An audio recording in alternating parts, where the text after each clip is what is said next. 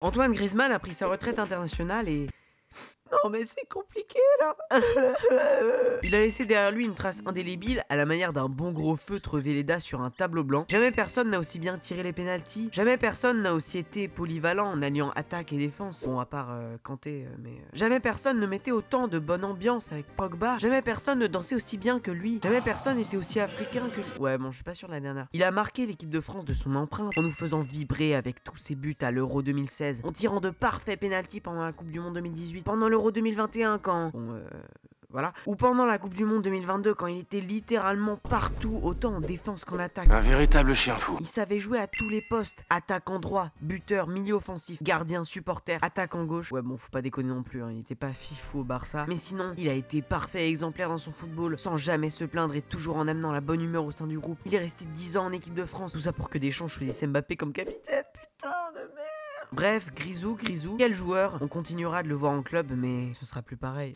En tout cas, ce qui est sûr, c'est qu'on le retiendra. Ses buts, sa bonne humeur, ses célébrations, ses danses, ses styles capillaires douteux. Au revoir, Grisou. Tu auras laissé un grand vide. Surtout une équipe de France avec que des... Ouais, pas, pas sûr de la faire, celle-là. Pas, pas très sûr, quoi. Au revoir, Grisou.